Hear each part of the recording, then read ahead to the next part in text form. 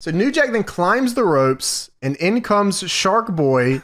Over he the comes rail. over the rail with Hulk hands, comes in and hands New Jack one of the Hulk hands. And New Jack is looking at it. Then he's pantomiming to the crowd. He's like, "You want to use this?" Shit? Then New Jack gets into the ring and starts doing Hulk Hogan poses.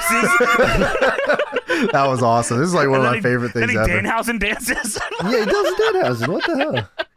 Then New Jack takes the Hulk hand, hits Sanders off the apron, biggest Superman punch of all time, and he crashes through the table, getting him five points and allowing him to win the match.